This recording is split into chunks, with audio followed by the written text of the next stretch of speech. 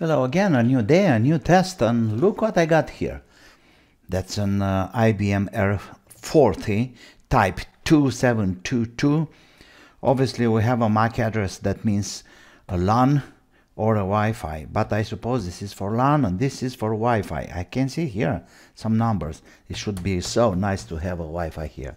Well, let's take a look. What we got here? That should be the RAM. Pretty sure. Of course, that's the RAM. We have two bricks of, should be 56, right? DDR at 333 megahertz. That's the battery here. I don't know if it's taking a charge. It would be really nice. But this computer is at least 2002, 2003 or something like that. 20 years old at least. It's looking pristine. Look here. No scratches. It's looking brilliant here. Should be so nice to have a Wi-Fi card. Oh yes, pam pam. It's an Intel VM3B 2010. Beautiful, we got a card. Let me put this back for now. And you can see the serial number and the seal with Windows XP. It's untouched. Mouse, keyboard, USB, LAN network. That's modem, VGA, display, and parallel port and of course DC in power supply in. What we got here? PCMCIA that's a 1394 port. That's a iLink or a Firewire you know that was used for transfer digital video from the early digital cameras in early 2000 in the front we have the infrared sensor here for infrared communication and here we have what's this here? Okay we can take this out. All right so we have a CDRW DVD drive. Perfect. And that's from December 2003 and that match date here 0312 2003 month 12 so this guy is like 20 years old. Beautiful Okay, what else? Of course, headphones and microphone in. Nice. It's looking great. I can't wait to turn it on. I may say the keyboard is untouched. I can barely see, you know, leftovers. This wasn't worked. And look here, look at the pads. Just a little, a slight scratch here. Mouse. Okay, so we have a track here, track point with all this uh, left, right, middle. Then we also have a pad. So it's kind of double something. Okay, beautiful. Um, what else? That's the standard things here. IBM keyboard, of course. Well, people, here I have the original adapter. It's working with 16 volts, 4.5 amps. Kind of dodgy. It has been worked before. Before doing anything else, let me check the voltage. So far perfect. 16.6 volts. We should be good to go. Power on. Okay so let's turn this guy on. Yes we have the charging light here but I can hear a strange sound. Oh that's not promising at all. There's the charging light. Maybe the battery is keeping any charge. That doesn't sound good. Not at all. Come on. Okay let's access the the BIOS. Wow it's moving really slow. Why? Okay here we have uh, you can see on, on okay we'll, be, we'll go back. Thank you. Failure fixed disk zero. Okay that's bad. Date and time security startup. Let me have that um, diagnostic. The BIOS battery should be changed that's for sure okay save. Here we have. All right. Intel pentium m processor 1300 megahertz 1.3 gigahertz. So this is the processor we have inside there. Beautiful. Now it's checking for uh, for the ram. It's so beautiful.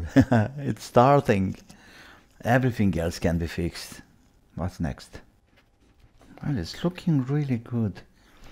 Come on come on come on. I don't see any that should be the hard drive LED. Here we go. Yeah, failure disk, fixed disk. Yeah, that's you see. That's what I said.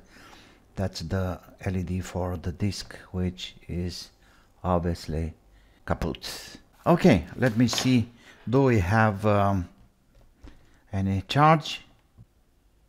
Of course not. You see, I didn't expect that, in fact. Okay, I have a disk from another R30 Intel. So we'll take this out. You know, this is really interesting how to how to take out the hard drive here.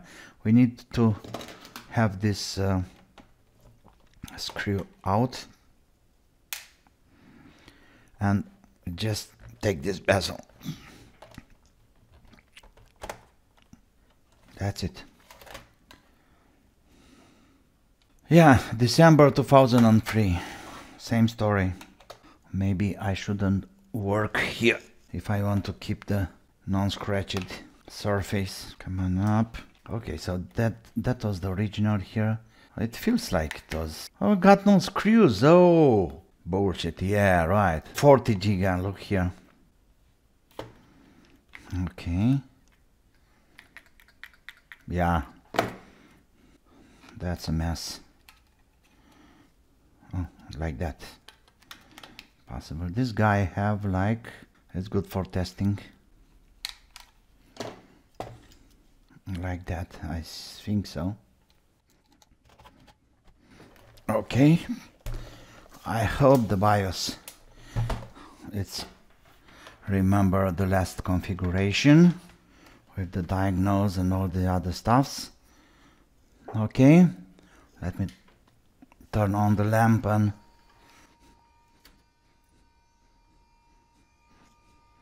come on. We should have Windows 98 on this uh, hard drive. So if we are lucky it's booting. What? Enter me. Oh that's it people. Yes yes scan disk why?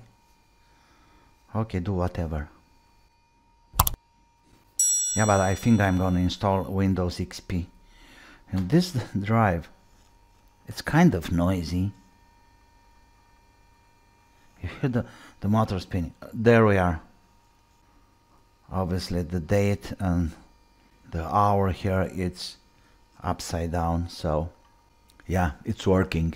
Nice now let's proceed with changing the BIOS battery. So uh, to have access to the battery, to the BIOS battery, we don't really have to take off everything. Okay, so there is a gap in here. You see this one, I can push the keyboard out. This one.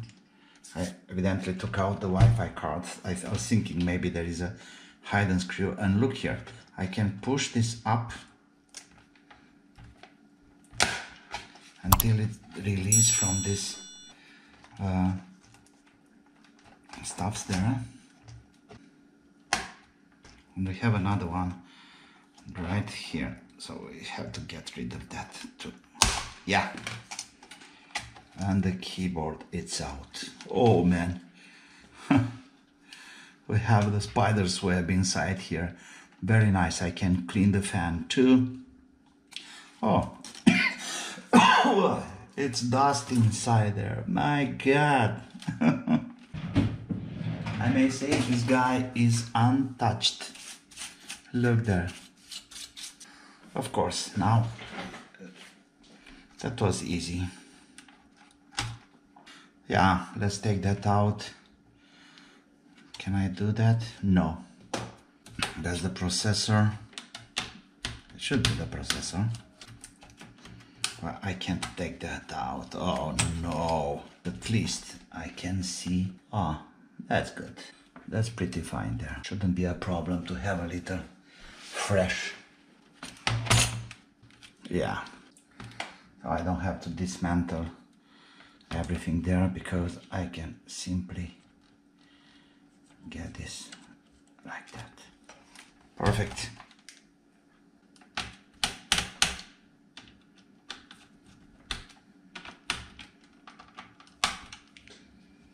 Okay. That should be fine. Uh, let's clean this just a little. Pretty good for now. And let's focus to the BIOS battery. Okay.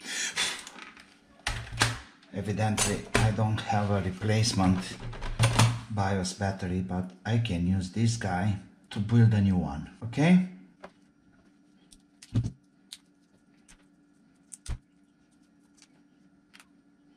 so red it's plus. Absolutely. Shall we check the battery? This is old. I really mean that. It's really old.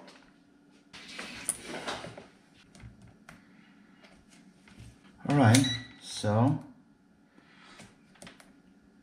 oh these are very good. Okay so I'm gonna take one of these. And that's the plus and that's the minus here. How can we put this together? Hmm simply with some tape? Obviously I can't do any soldering here because uh, temperature will destroy the battery but we can use some tape. Just like that. And now I'm really really pushing it. And there we have a brand new BIOS battery. This will last years okay let's check the voltages right here. At the connector. Perfect. That's that let me plug this back. All right. Look at this keyboard. We have a scratch here. That's it. We can feel you can feel it like it was. Use it too much okay mission complete. Of course let's check the BIOS now. Power on.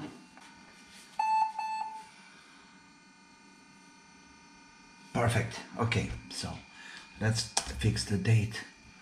Um, 4th of May. Oh 2023 and uh, time is 16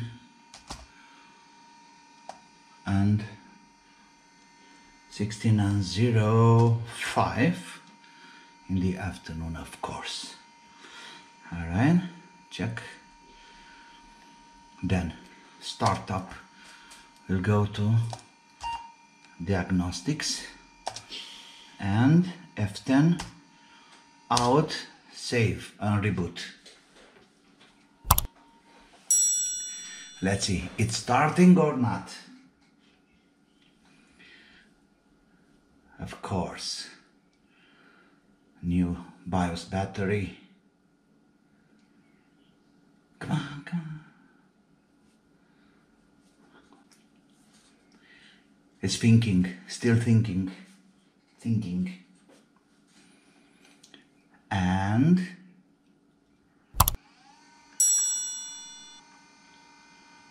perfect. Looking good. There we go. Windows 98 it's booting normally. Everything is fine. The keyboard is working great. I don't see any problem. Nice. The battery doesn't take the charge. So I don't bother with that anymore. I was hoping but you know it's so old. So uh, that's how you can replace the BIOS battery without dismantle everything you know?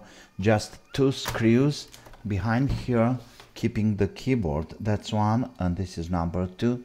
Very simple. And then here under the battery you see this is the keyboard in fact you just push and then the keyboard is getting out from the main body all right? So far I'm surprised. It's working great of course. The next step will be to install a new copy of Windows XP that like the original.